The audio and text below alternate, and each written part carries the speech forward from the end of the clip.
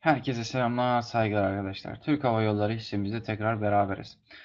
Yasal yorumunuzu okuduğunuzu, kabul ettiğinizi varsayarak videoya başlıyorum. İlk 5 saniyede okuduğunuz e, yasal yorumunuzu e, okuduğunuzu, kabul ettiğinizi varsayarak videoya başlıyorum. Şimdi Türk Hava Yolları'nın grafiğine bakarak başlayalım arkadaşlar. Şimdi ikinci kısımdan da teknik kısmını açarız. TradingView'den e, 7 gün önceki haberlere bakalım. Türk Hava Yolları elektronik para ödeme hizmetleri faaliyetleri için yeni şirket kurduğunu görüyoruz. 9 Ağustos'ta ikinci çeyrekte 13.75 milyar net TL kar etti. Geçen yıl aynı dönemde 9.16 milyar TL net kar etmiş. Buradan farkı görebilirsiniz. Türk Hava Yol, Yolları'nın yolculuk doluluk oranı Temmuz'da geçen yılın aynı dönemine kıyasla %0.3 düşerken yolcu, yolcu sayısı %9 arttı. E, bu da TEO için genel başlıklardı arkadaşlar. Ben bugünkü yani pazartesi günkü e, piyasa tabii kapandı. Burada trading ve verileri geriden geliyor. Grafiği yorumlayacaksam eğer hacimle beraber yükselen bir artış görüyorsunuz arkadaşlar. Hacim yükseldiyse Türk Hava Yolları yükselmiş. Hacim yükseldi. Türk Hava Yolları gene yükselmiş. Ve 256 nokta e, TL'den e, %7.56 yükselişle e, 18 liralık yükseliş yakalamış. Şimdi Türk Hava Yolları'nın Şimdi Türk Hava Yolları'nın teknik kısmına inersek yer yani genel anlamda Türk Hava Yolları muhtemelen buradan dönüş çabasına girmiştir. E, düşüş trendi şöyle hafiften bir düşüş trendi varmış. Yani belirsizlik trendi diyelim arkadaşlar bunu aslında. E, son iki haftadır da şuraya görüyorsunuz e, bayağı bir e, düşmüş. E, artık kendini bir yukarı atma çabasında bulunuyor. Yani şu bir günlüğe bakarsak yani bir günlük pardon diyorum. E, şurada pazartesine bakarsanız eğer hacimle beraber artmaya çalışmış. Şimdi Türk Hava Yolları'nın teknik kısmına inersek yer. Trading View'e göre. Bir günlükte güçlü al vermesi bizim için güzel. Satın 1 ve aşağısında olması bizim için güzel. E, her zaman dediğim gibi. Hareketli ortalamalara göre sat 0, al 14 e, ve özet olarak alın 17 olması bizim için gayet olumlu bir senaryo. Şimdi bir aylık e, teknik kısmını açacak mı eğer? Aynen açtı. E, satın 2 olması kabul edilebilir. Satın hareketli ortamlara göre 0 olması gayet iyi. Osilatörlere göre nötr olması bizim için özet olarak al olması gayet iyi arkadaşlar.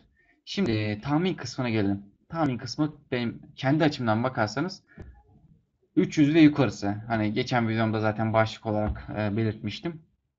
Fiyat hedefi TradingView'e göre de 294 gördüğünüz gibi 405 maksimum gider diyor. E, şura açılırsa kendisi gösterecek zaten. Maksimum 405'e gider diyor TradingView'e göre. Ortalama 294'ü bulur diyor. Benim kendi şahsi fikrimde 300'ün yukarı atması. Yani bu ne zaman olur? E, zaman verecek olursam 3.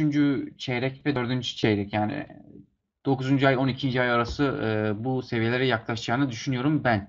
E, yatırım tavsiyesi değildir arkadaşlar. Bunlar tabii ki de dediğim gibi benim kendi şahsi fikrim, yorumum, tahminim. Türk Hava Yolları'nın kap bildirimlerine gelirsek eğer e, son 5 bildirimde önemli bir gelişme var mı? Hemen bakalım. Yeni şirket kuruluş kararı var. Bunu okumuştuk zaten. E, daha da önemli bir şey yok. Investing yorumlarına bakalım arkadaşlar. Yani teknik kısmına inersek eğer. Teknik analizini açalım.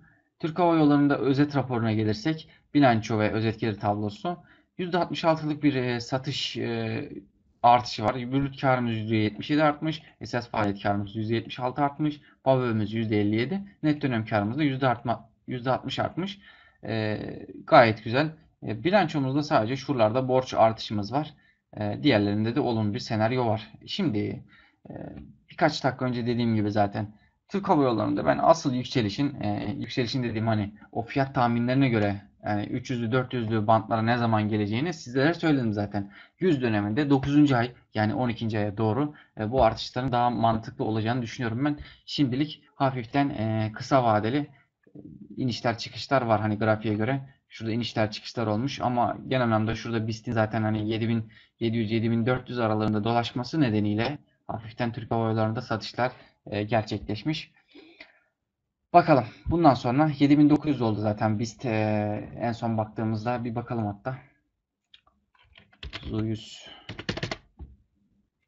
7900 seviyelerdeydi en son baktığımızda. Aynen 7941'de e, şu an 7941'den işlem görüyor.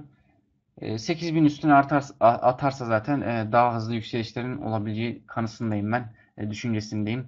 Türk Hava Yolları'nın teknik analizine bakalım Investing'den de.